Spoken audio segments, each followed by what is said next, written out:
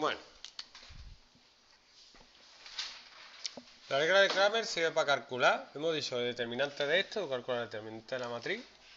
Que ya hemos dicho que era 1 y lo que hay que hacer es sustituir en esta matriz para sacar la X, que es la columna, la columna primera de la X, sustituimos esa columna por los independientes. Diga 0, 6, hasta mañana. Uy. 6 menos 4. 2 entre 1, 2. Y lo de, la, lo de abajo que, que es el determinante de la... Determinante de la matriz de coeficientes. Para sacarla ahí, sustituye en aquí, la segunda que es la de la i,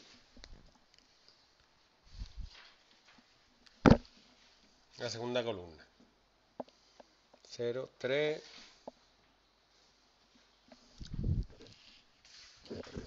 menos 6 más 4.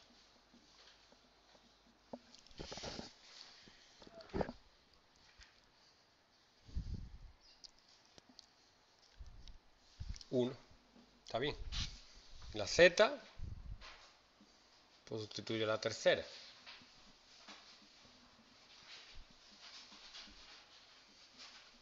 Cómo flipa, ¿eh? Que descubrió esto lo flipó, pero vamos. No, hombre, tú, tú piénsalo. Todo el mundo ahí, "Eh, haciendo las cosas de otra manera. Llega este. Mira, mira, mira, mira. mira. Tía,